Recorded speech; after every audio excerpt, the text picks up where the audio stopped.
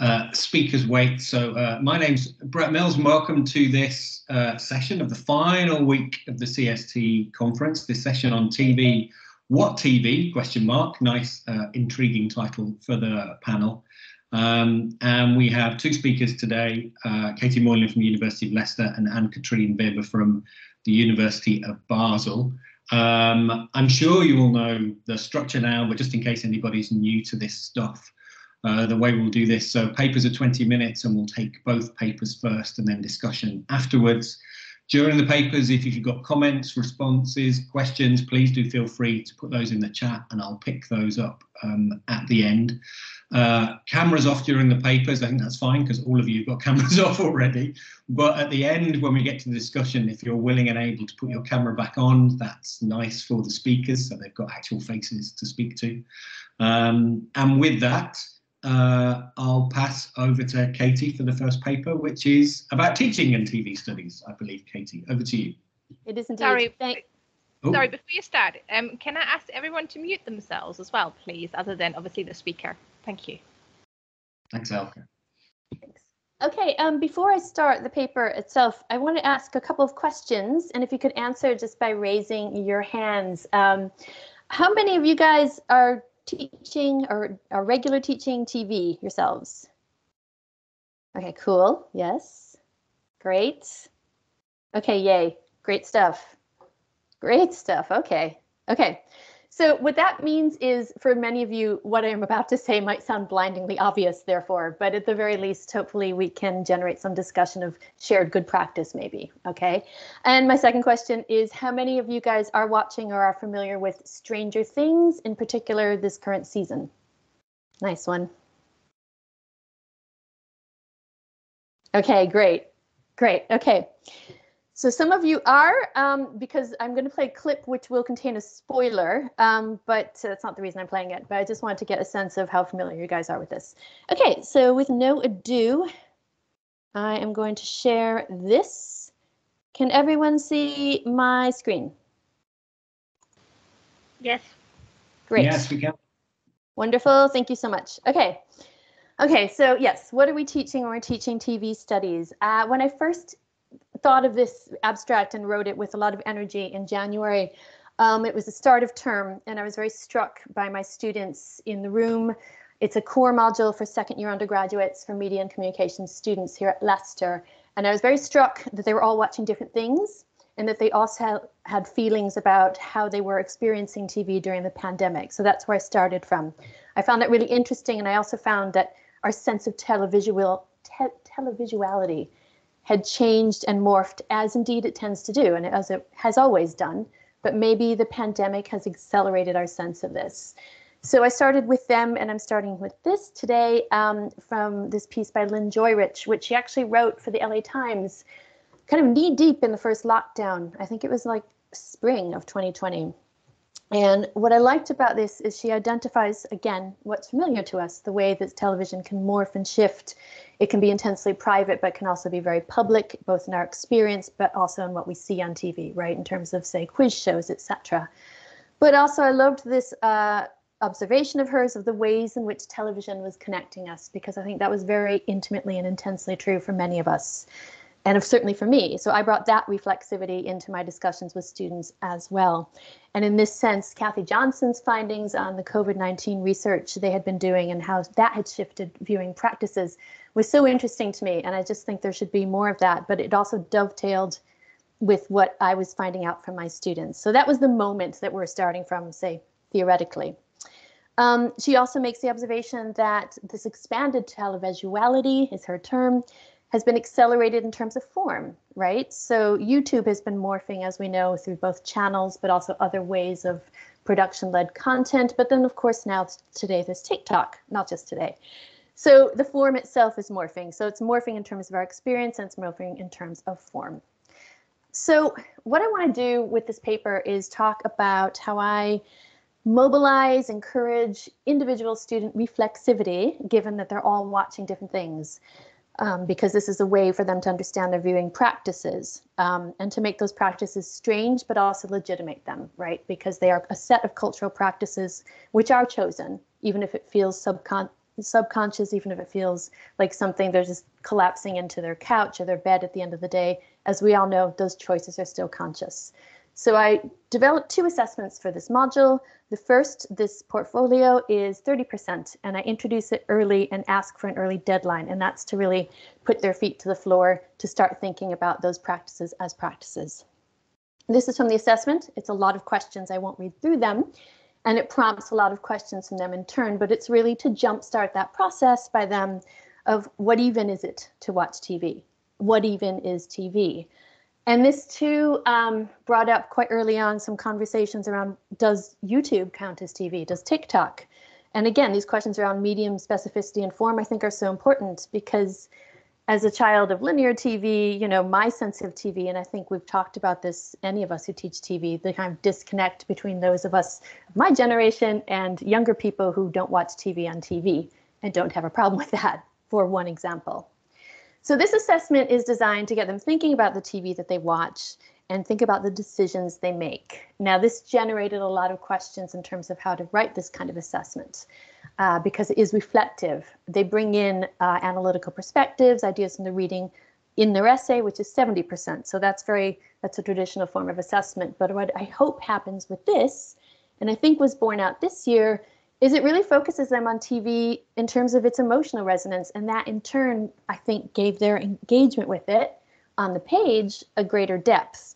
You know, they, they kind of felt how important TV was, if I'm putting that in a way that makes sense, that isn't too qualitative. So this is where I start them off as a reflective assignment, okay, to kind of get them thinking about this. And what's not clear here is it's a 700 word assignment and they're discouraged from using readings but when they identify their television practices and their chosen TV, they must tell us its formal qualities. What form or format is it? What kind of genre?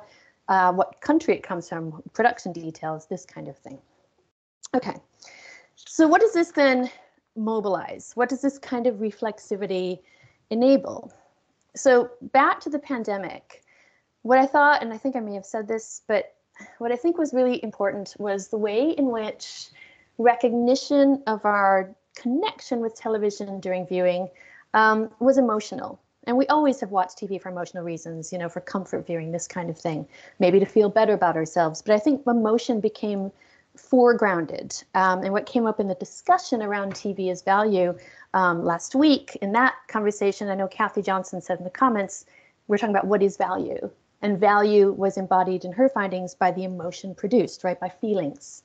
And I think kind of recognizing that is just useful for us because then in turn, what that encourages students to do is like connect the feelings they have with the TV to formal components like genre, um, like thematic preoccupations, like character, which enables them in turn to have a much more focused analysis because they're invested, I feel. So what also happens is in this process, they're encouraged to recognize their positionality um, and the ways in which their situated knowledges come to their TV viewing choices. So in Leicester, we have a very, as in a lot of UK universities, but uh, we have a really diverse undergraduate student cohort. So of those 40 students, um, we have a, most of them, by which I mean two thirds, are say English, but of the ones from England, uh, they themselves are diverse. So they're black, they're white, they're Asian, and they come from Midland cities, but also a fair lot of them come from London. So already there's a diversity in British experiences in the classroom. We also have maybe a fourth of our students uh, are Chinese, mainland Chinese, but also Hong Kong. And then we still have a scattering of Erasmus students. So all those different perspectives are coming into the room. That means that you have that much more diversity informing their viewing choices, okay?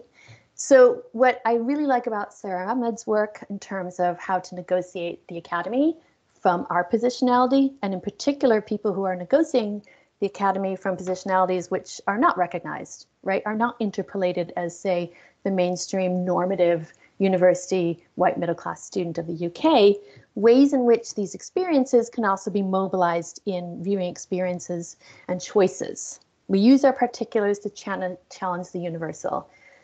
And from this then, so whilst just making these decisions about what to watch, students in turn consider their positionality as positionality. So I'm going to digress for a second to um, the conversation we had with the Value as TV uh, panel And Brett mentioned uh, the ways in which some prestige dramas kind of he didn't like them. I, I think that's fair to say because I think you made that point several times. And as you're speaking, I agree. I didn't like them either, and I was trying to figure out in that moment why not, because I otherwise like serial drama very much. But something about UK, in particular English drama, leaves me cold, and it made me freshly realize because if you teach UK TV, you, this is throughout anyway, questions of representation, inequity of representation, and so on. But I realized anew that these kind of dramas really situate a white upper middle class positionality and it leaves everyone else by the side. And so there's nothing there to resonate for me. So if that doesn't resonate for me, how much less might it not resonate for my students? As one example, as one example of how these um, different forms of TV interpolate us, because they all do, right? And here I bring in Stuart Hall's lovely idea, which I always go back to and think of teaching. You know, why do we care? What are we made to think about and to critique when we're thinking about where we're coming from, how we're approaching these media texts? And this, of course, is an idea that any of us who teach cultural studies, media studies, you know, it's it's in the room. But this is what we're teaching. We're teaching points of critique and how to develop critique. So problem based what is the problem? What is the problem in representation? What do we need to in investigate? Okay, so it's a lot for one assignment to do, but I hope it jumpstarts their thinking in terms of their critical reflexivity. They are second years, so some of these ideas are already there, but I hope, um, and I, I, see it play out actually this year, um, that this assignment went, that they went that much further. So certain genres appeal to people from different uh, nations, regions, backgrounds, etc. Okay. So in turn then, um, what I want to do is focus on one uh, interpretive formal device called the televisual moment, which will be familiar to you guys. Um, and building on this, actually, I, I skipped a bit, which I'm going to get to in a second. I see the televisual moment as one of many formal components that we can focus our teaching on. So as we start to unpack week by week, we look at things like genre, we look at representation, we look at format, we look at aesthetics, we look at the different ways in which television creates and produces meaning, right? We look at characters, we look at societal values. Uh, what I feel the televisual moment, and again, I'm probably preaching to the choir here, enables is a particular kind of analysis that allows us to encapsulate um, that critique within a particular moment. A televisual moment can do a lot of work. So for first principles, um, which I really feel this panel, What is TV, gets at for both my paper and the one following mine. It's like, what is TV in the biggest sense? Of first principles, let's look at the moment, building on John Ellis's idea of this segment. This blurb is taken directly from one of the new books by Jonathan Bignell and Sarah Cardwell. I have not read them, but I'm very conscious that they really unpack the moment as moment. What I like about this quote is it takes the moment as beyond its textual properties and recognizes it as an impactful turning force. That is very much what I've always thought as a televisual moment to be as well. So I like that they're bringing that to bear. And the only reason I'm not quoting more from the book is because I haven't read it yet. What I'd like to do now is show one of these moments. Elka, if you could put it, there's, you can ignore all these links aside from the learning on screen one. This is about five minutes and it's from a program called Gogglebox, um, which is arguably an example of cheap TV, reality TV. It's something I showed to my students for the first time on week one to show them what is even TV. So I think I'll show this if we can get it working and then unpack it a bit and then wrap up then. Um, Caitlin, you just have to stop sharing yourself for me to Got it. do the. Okay, bear with. Excuse me. All right, and I need to go back into Teams to do that. Here we are. There we go. How's that? Thanks. Great, thank you.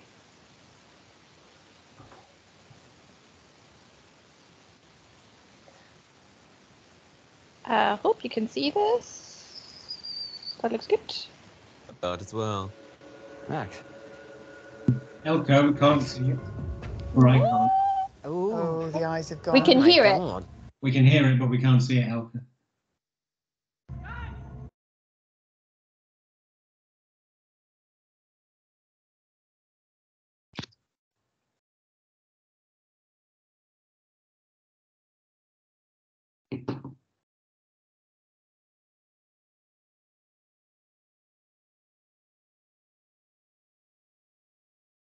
Oh, where did Elka go? Probably. Oh, here she's back. Here we go.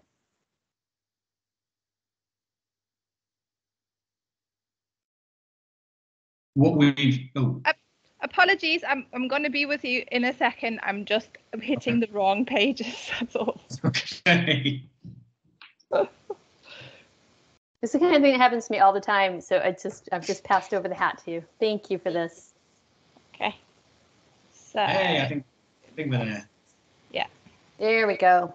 Thank you, Elka. I want to be a teenager in this town Absolutely with not. that Vecna about, Trouble. terrorising them.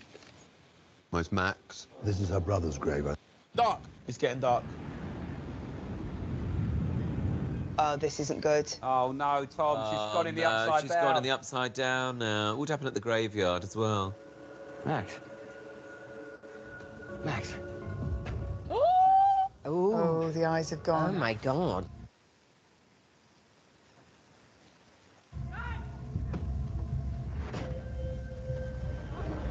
Oh no, they know. They know something's wrong. How could they get her out of the trance? What do, what do they do? Oh no, no, no, oh, no, no, no, no, no, no. Oh, it's that thing again. Vecna. It is time. Max, I'm not looking. time for you to join me. No. No, not Max. Join me.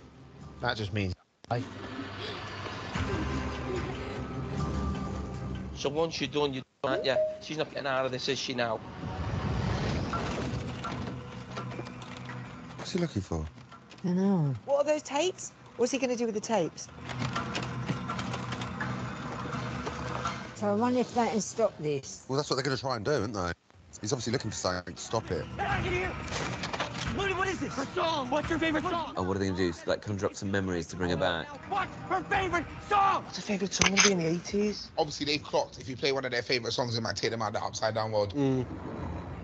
What are you doing in here, Max? Oh my god, this is what's happening in her mind. Yeah, this is what she thinks is going on. Oh! Oh my God! What's right around her leg? Oh, no, no, Oh, no, he's no, her, no, he's no, got her. no, no, no. She's done. He's reeling her in. Ah! Wait, she's, oh my god, it's gonna strangle her against the tree. Oh, that's not very nice. Oh, she's a goner. she can't die. She can't die. She can't die. Oh, come on, quickly, kids. Find her song. These three have. Oh my god, Black Eddie, tune on. Come on. I want me out and play a fucking song for God's sake. We need to play here, right now. Kate Bush. Yes. Kate Bush. Ooh. Hurry up, play the music, man. Now! Kate Bush can get you out of there. Kate will get you out of it, don't you worry. No, I can't even dance. It's too stressful. Running up that hill. Shoo! Oh! hey, check out the portal. Portal. It worked. But how's she going to get away from that? Well, she's got to get out. Kate Bush will help her. Bro, look, look at them fingers, man. No, when they start floating off into the sky. Oh. She's a god. This is so intense, man. Oh no, she's going. She's going. Grab her, grab her. Help her!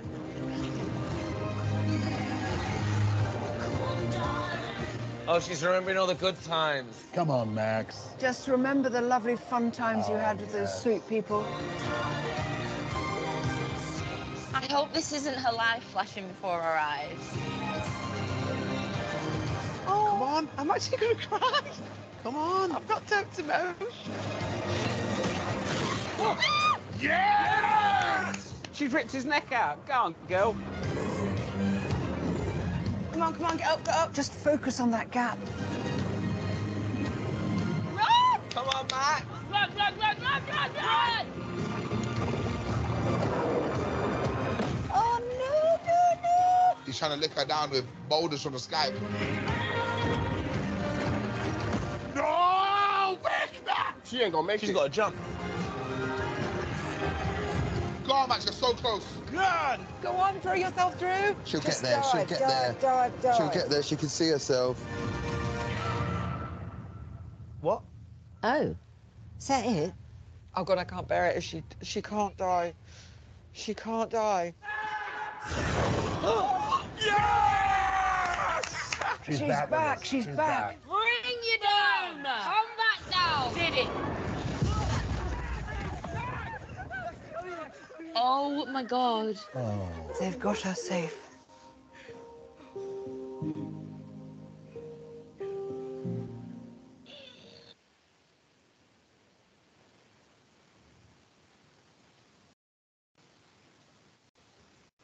Was that enough?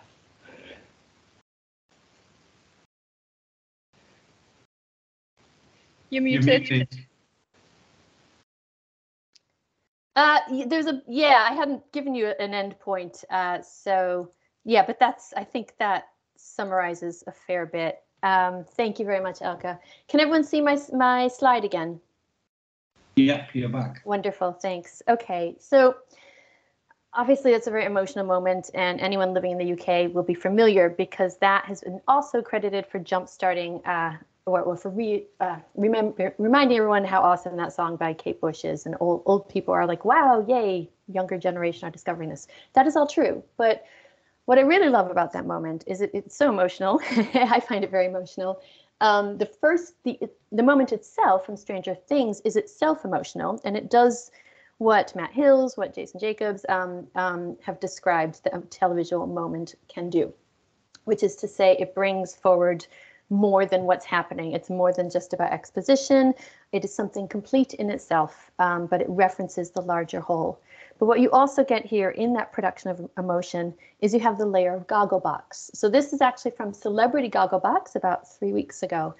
Um, some of you may recognize the celebrities, some of you may not.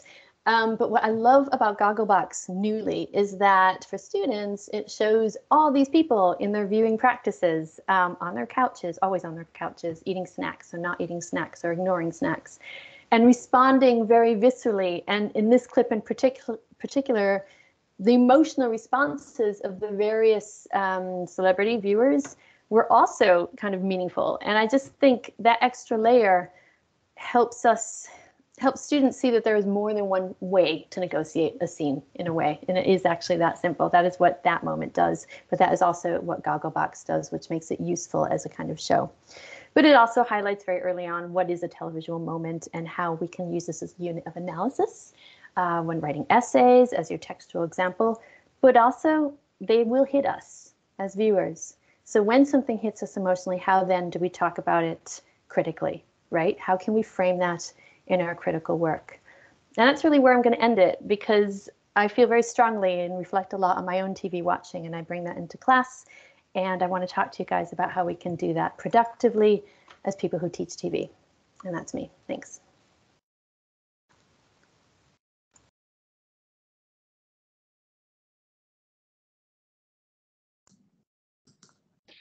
Thank you, Katie.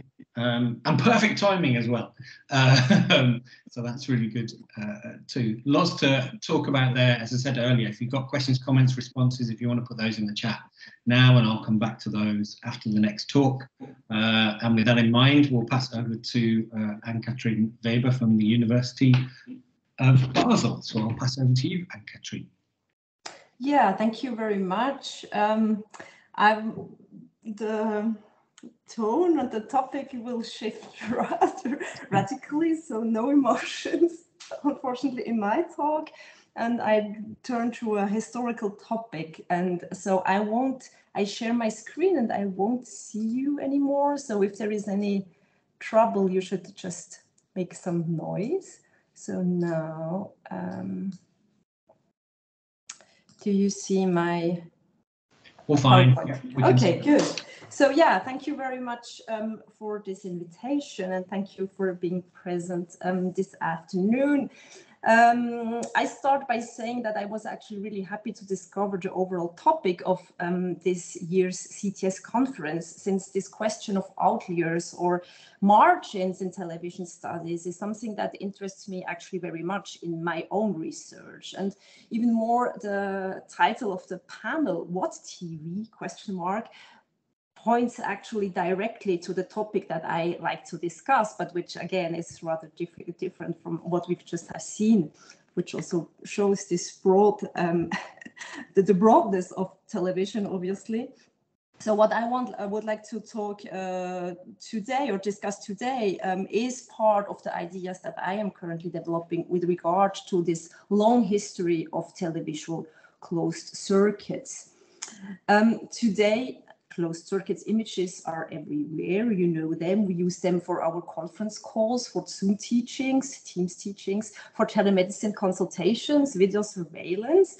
Less visible but no less impactful are closed circuits for facial recognition, policing, and drone warfare.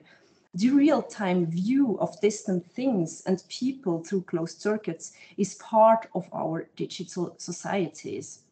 However, despite their pervasive nature, the multiform closed circuits have received little scholarly attention and their history is virtually forgotten today. And so it is this history that interests me in my current project.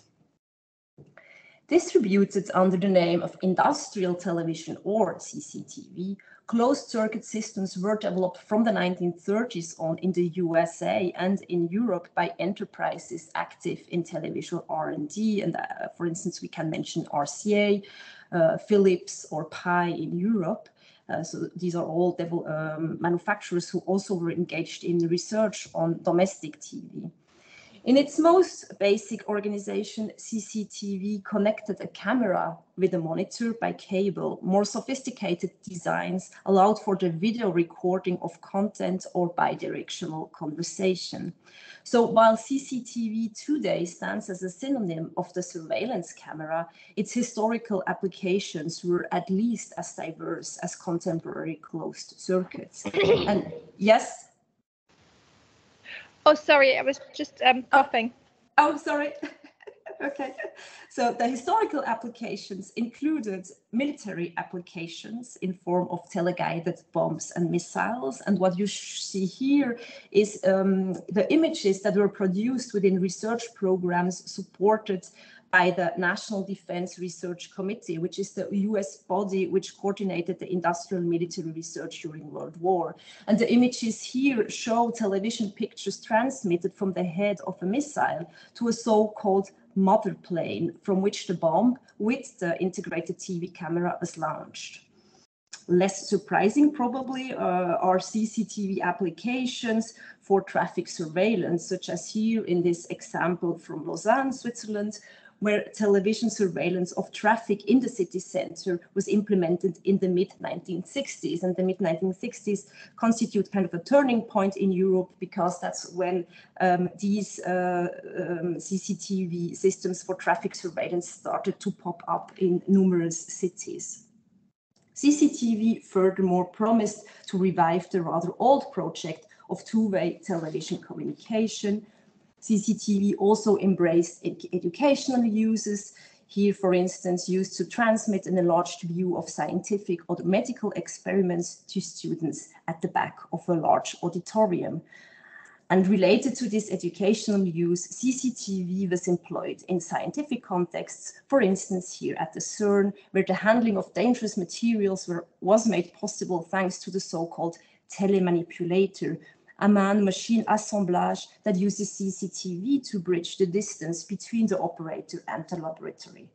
So in short, as a tool for control, surveillance, command, teaching, and remote observation, the closed circuit systems would fit in almost every non-domestic space. For today's presentation, I start with this short overview of CCTV's flexibility and pervasiveness in multiple contexts in order to emphasize two aspects of its history, which seem particularly re relevant for the discussion of outliers in TV studies. And so First, I would like to argue that the history of closed circuit television not only constitutes one of the forgotten parts of television historiography, but that it is that it invites and actually I could say it forces us to radically revise common understandings of television as a domestic mass media conceived according to the broadcasting model. Obviously, this call for revision is not entirely new, and scholars such as Anna McCarthy have already emphasized the multiplicity of televisual sites and the medium's role in structuring public and semi-public spaces. However, the domestic model continues to exist as a matrix, a paradigm of TV. It often remains a refer reference point against which other forms of televisuality are gauged. It seems to me that CCTV's long and diverse history allows a decentering that helps to rethink our matrices and frames of reference. And second, related to that, I argue that this other form of televisuality should be understood as a useful medium which develops in parallel to and concomitant with broadcasting TV. Scholars such as Markus Stauff and more recently Kit Hughes with her brilliant analysis of television in the corporate context have shown the value of, ex of expanding television's history to the medium's useful applications. And I draw upon their, their scholarship to use the notion of useful TV as a way to embrace CCTV in its multiplicity. And to make my point, I will start by going back to the interwar period and to what I see as the early history of CCTV. So as you know, at the outbreak of World War II, television services had opened in the US and in Europe, and the commercialization of television as a domestic media had been prepared in several countries since the 1930s. In other words, the years leading to the war see the launching of what should become the most dominant use of television, which would define most of its media identity media identity up until today, namely the program-based commercially or public funded broadcasting into domestic spaces. However, television's interwar period is not only important for understanding the origins of institutional frameworks that would become dominant in the post-war period, but also since it reveals the broad range of television forms that were imagined and developed. As research inspired by media archaeological approaches has highlighted, television in the interwar period was hybrid, intermedial, and multiform. These pictures here from interwar Germany document this hybridity, including the bidirectional communication device on your right and on the left, a large screen theater TV. So the photograph on the left was taken at the Berlin Radio Fair in 1935, so an industrial exhibition, and it offers a, gl a, glimpse into the television hall. And as you can see, there, um, uh, this hall included domestic receivers that were aligned on the wall, and then this large screen project uh, projection system projected overhead. And um, I also like this image very much because it shows well that um, there was actually a large audience to see these television demonstrations. So contrary to a common understanding of interwar television as a medium without public, television was actually very much seen, at least within this display exhibition context. At such public television demonstrations, closed circuits were also frequently used. For instance, here at the Telefunken stand, so erected at the Berlin Radio Fair, Fair in 1936. Um, and here the studio space and the reception area formed a closed loop, allowing the audience to observe simultaneously the performance on stage behind uh, the, the the glass windows and its transmission on screen in front on the small TV sets. The closed circuit here was part of television in the making and allowed the audience to verify the authenticity and liveness of the televisual picture, as well as the good functioning of the small TV set. While such interwar closed circuits served the familiarization and institutionalization of broadcasting TV, a new closed circuit dispositif emerged during World War II, and the closed circuit, uh, and closed circuit TV was henceforth explicitly conceived as the other or the alternative to broadcasting television. In an emblematic introduction to CCTV published in the mid 1950s, author Edward Noll um, summarizes this fundamental difference between the broadcasting and the closed circuit model. And so he writes Entertainment television has flourished for over a decade. The growth has been so phenomenal that various other applications for television remain relatively unexplored. For the last few years, manufacturers have been designing equipment equipment specifically for uses other than that of commercial telecasting. Television cameras and viewers can perform hundreds of functions cheaply, safely, quickly, and conveniently. Applications can be found today in industrial plants, business establishments, stores, shops, all levels of government, education, and even the home. This television that the author describes here is multifaceted, plural, and highly flexible. It is to be found almost everywhere, in home, but also out of home. And while the so-called commercial telecasting is here reduced to its entertainment function, CCTV is, according to Noll, a truly universal medium, which does almost everything in the most appropriate manner. Paradoxically, this broad range of possible applications that Noll describes resulted from the application's closed design. And this closed design, and this is the second aspect of CCTV's long history that I would like to highlight today. So this closed, closed design was actually linked to wartime research. Indeed, the existence of the broadcasting other, so this alternative form of television, was contingent upon the collaboration of militaries and private corporations during World War II, and on the influx of new money and new requirements into television research. In television history, World War II remains a somewhat unexplored parenthesis between the interwar and the post-war period. The war years are often understood as an interruption of research on domestic television and thus as an, uh, as an interruption of television's conquest of the living room. When I started having a closer look at the television activities of firms such as RCA, the Radio Corporation of America, I realized that there was actually a lot going on while the so-called war effort certainly brought to a halt certain domains of industrial research and development, others were highly stimulated. So to stick with RCA, it is notable uh, that over the course of the war, RCA presented three different televisual equipments built into guided miss missiles, respectively conceived as a reconnaissance system. So the guided missile system is what you see here uh, in this publication from uh, 64. Um, distinct with regard to picture quality and function, these uh, missiles or reconnaissance systems shared uh, major characteristics that, that distinguished military TV, TV from the medium's broadcasting forms.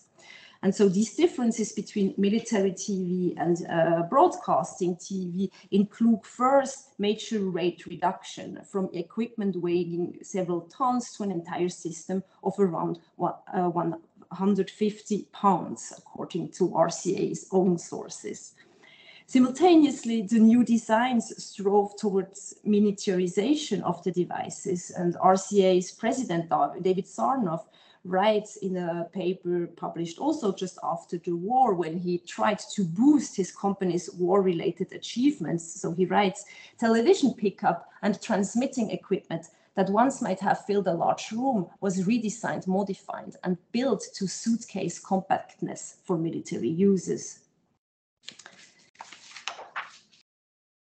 um, sorry, the reference to the suitcase size of cameras, transmitters, and receivers became a new standard, which signaled the aptitude of equipment for military use. Furthermore, contrary to the civilian televisual systems in development in the 1930s, military TV was not handled by RCA specialists, but by military personnel. The overall ease of operation and of maintenance was thus really important. And then last and importantly to my argument, all these military applications were based on the conception of television as a closed circuit, transferring visual data from the camera to one single receiver. The closed circuit guaranteed the functioning of the targeting or the surveillance operation. It enabled the target's distant view for the pilot in the control plane. Considering wartime television's limited efficiency on the battlefield and its technical restrictions overall, most historians judge the different military TV programs during World War II to be a failure. And contrary to what an overly enthusiastic journal article had announced in 1940, television did indeed little to actually advance the robotic battlefield. Yet, the publicly funded television research by private actors did have a long-lasting impact beyond the war. It contributed to the convergence of science, industry, and military, and it produced a new dispositif, the closed circuit, which would infuse multiple sectors after the war. Indeed, as I have very briefly mentioned at the beginning, in the post-war period, closed circuit systems promised to solve multiple problems, be they of educational, industrial, or scientific nature. CCTV introduced rationalized workflows in industry, it facilitated medical research, and it was meant to smooth administrative processes. From the mid-1950s on, numerous publications were dedicated to these uh, broad applications of TV and introduced the uses of television in science and industry to an audience in the USA, but also in Europe. And so to sum up my argument so far, CCTV was a highly flexible assemblage growing out of army-related research and developing very actively from the mid-1950s on internationally. It integrated multiple spaces outside the home and radically diversified with uh, what Anna McCarthy has called television's site specificity. Furthermore, CCTV certainly also is an outlier in television's historiography that has been mostly neglected by TV historians so far. Whereas its historical significance is all but marginal, its treatment by media historians is. This is not further surprising if we consider the importance of the domestic broadcasting model for television studies. CCTV asks for a resolute decentering from this model and requests that we embrace the many industrial, bureaucratic, and other applications of televisuality as being part of television's history, which expands to intersect with the history of military media, of surveillance society, industrial automation, education, etc. To think through this decentering of the broadcasting model, I have found it helpful to turn to cinema studies and more particularly to the henceforth well-established scholarship on non-theatrical uh, cinema. For almost three decades, film historians have engaged in a lively discussion on the role, functions, and publics of the so-called useful film, broadly defined as a body of films and technologies that perform tasks and serve as instruments. Shifting attention away from the feature film and theatrical reception to alternative uses of cinema, this historical scholarship investigates industrial, military, educational, and medical films and suggests new analytical frameworks to apprehend this important but long time neglected strand of cinematographic production. Indeed, maybe one of the most fundamental results of this research has been to unearth the overabundance of useful films over the 20th century, and thus the multiplicity of points of contact between an audience and moving images outside of the moving theater. In this regard, then, useful film as a field of study is inspiring in its double role as historically rigorous and historiographically innovative scholarship it shows the way uh, to think a television history that shifts attention away from domestic TV and unearths the profusion of alternative out-of-home television uses. It does definitely helps to decenter our gaze and habitudes and to reframe the question of what TVs we are actually thinking about. This said, it is also important to stress that useful cinema and useful television differ in many ways, beginning with the virtual absence of CCTV's early images before videotape. While useful film has been screened to small and large audiences seated to watch the movie, CCTV's role is not always to be watched. If we think of the surveillance or military image, we understand that image's ontology is defined by the operations it supports and not by its rhetoric or discursive force. Rather than simply importing scholarship from cinema studies into TV history, it seems thus important to keep in mind the specificity or specificities of useful television, as much as it is important to reflect upon the contributions television history makes to a broader media history that includes but is not limited to cinema. As Kit Hughes subsumes in her study of useful television in corporate America, as it is becoming increasingly clear, the commercial media products at the center of our histories represent the minority of media texts produced in the 20th century. As television historians, we may start looking at these other stories neglected so far. This uh, way, we may start highlighting the importance of television for, for instance, military media and early drone research, for policing in the pre-digital era, as well as for the production of scientific knowledge after World War II. Thank you for your attention. Thank you, Anne-Katrin.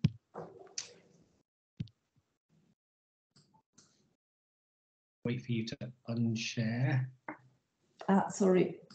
So I don't have to look at myself twice. So is it um, okay?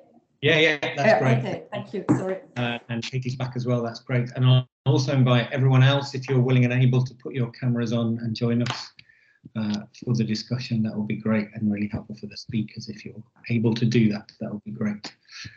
Um, questions, comments, responses, you can raise your hand, you can write in the chat, you can shout into your microphone and I'll come to you what questions and comments and responses do we have?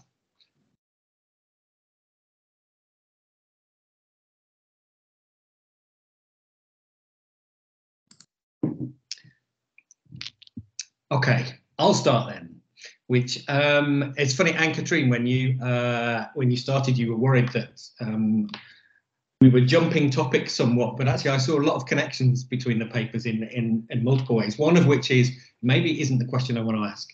Both of you have asked this question of kind of what is television and what is this thing that we study, but I think we talk about that a lot. so and and and we might get down a rabbit hole if I ask that question. But it's been really useful that both of you raised that and, and kind of suggested that sometimes we might limit what we understand as television. I wanted to ask about surveillance, which which obviously Anne-Katrin connects to yours, but the example you used, Katie, obviously Gogglebox is obviously also a form of surveillance, which is kind of weird. It's not CCTV in the sense of, you know, it's not CCTV cameras, but interestingly, the people on it never acknowledge the camera as far as I'm aware. So it's not like it's direct address. I was wondering, Katie, could you, this connects to both uh, both things that you were talking about. One, I don't know if you kind of wanted to reflect on the aesthetics or, or the style or whatever of, of Gogglebox in that way, which might be connected to surveillance, but also because you started off talking about your students and in terms of their emotional responses, whether they in any way have talked about this idea of, of television looking back and the fact that they would film themselves. And you talked about TikTok and a whole set of other forms of media, which of course is functions as not quite surveillance, but visibility. And then connected to that, Anne-Katrin, I wanted to ask about you about surveillance. You talked about the technology a lot. I, I was wondering, are you also looking kind of the history of publics and audiences and the ways in which people might have been happy about or worried about the fact that this new technology meant that they became visible. So I guess in a way that's the question that joins two of you together is kind of thinking about the ways in which television makes the public visible. I hope that made sense. That felt like a lot of stuff. Katie, shall I start with you? Um, yeah, I, I, I hope I noted it down because I was like, okay, I wanted to make sure.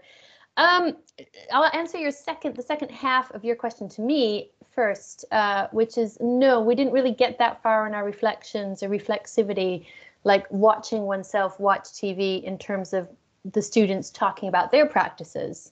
Although I do like that idea very much. Um, and I think was it David Morley or somebody wrote something very vague. I feel like there was a piece a long time ago in the 80s where people were suggested, people were recommended to put a mirror on top of their TV and watch themselves, and everyone was horrified. I would be horrified at that. Um, but I think that's a really interesting idea. Um, so I might bring that forward to to kind of discussing how deep their reflection goes. In terms of what what they did with the whole Gogglebox aesthetic, and in particular, see what's interesting about this, of course, is celebrity go- Gogglebox. So there is a real layer of aspiration, um, I think, in the celebrities. They're very conscious that they're showing their living rooms, you know, uh, and they're open for us to judge. And they're kind of they're well arranged living rooms. Most of them aren't to my taste, but they they are living rooms that have been assembled with care. So yes, my students would speak to, they'd have some judgments about the cushions and etc.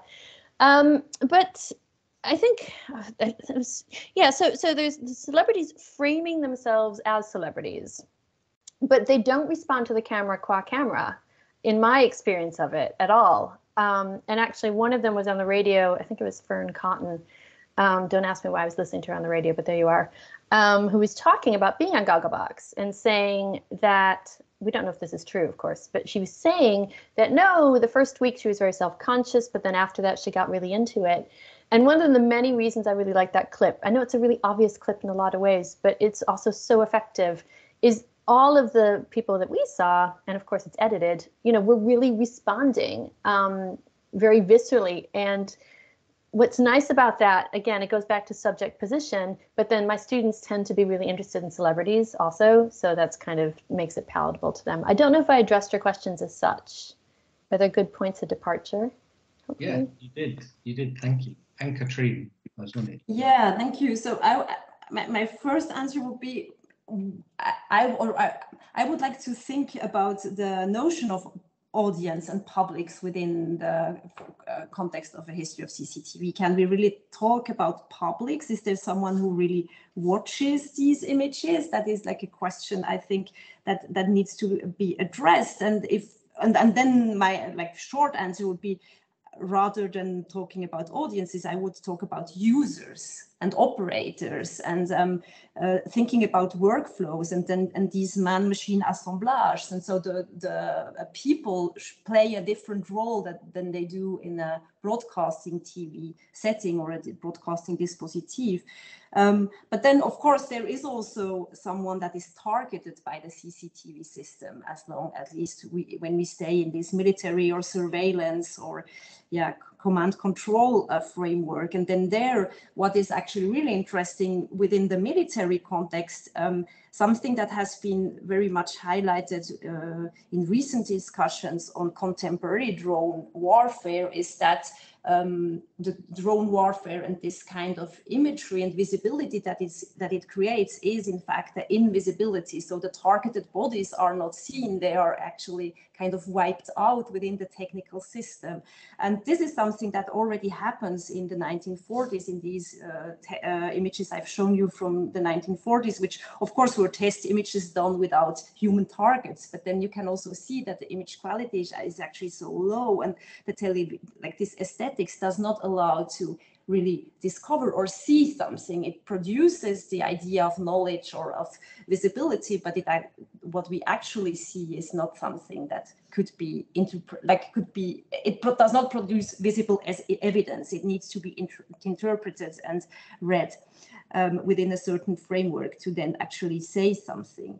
And um, uh, the other, um, what I was also thinking about is that um, some parts of these within these uh, systems of CCTV, um, when we think, for instance, about traffic surveillance, these traffic surveillance systems, when they were implemented in cities, actually, of course, imp um, impacted the behavior first of automobilists who had to be trained in a way to use this system. So there are, um, I have sources about this uh, case study in Switzerland where you, where Swiss public television then uh, produces a program where they explain how the system works and they explain to the automobilists that they have to keep the flow of the traffic lights in order to be in, in the rhythm of the, with this new system that they have uh, built into uh, the streets. And so the, the CCTV system is part of this broader automat automatization of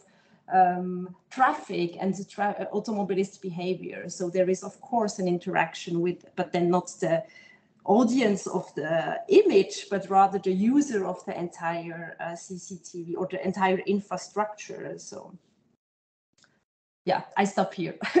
okay, thank you. That sent us off in both of your answers in, in some really interesting directions. Elke, you have your hand up. Yes, I do. Um, thank you both for really interesting papers. I was wondering, I was really struck by this idea of um, the decentering of the domestic space um, for television, and um, I wanted to take that and push that a bit further, namely by asking you, does it also allow us, does this allow us to think about the domestic space in less privatized ways? So, and on the other hand, you know, the workplace is actually incredibly privatized because what really struck me was with the TV moment, everyone was watching and having quite visceral responses, and the visceral responses will lead to conversations, which means that even though it's a private moment, it will lead to something very social. On the other hand, the people watching in those useful television situations, we don't know who who they, who they are. We don't know who's watching us. We don't know anything. So the, they are really private in a way. So I was wondering if, yeah, if you wanted to talk about that at all. Uh, it's not really a question, it's just an observation.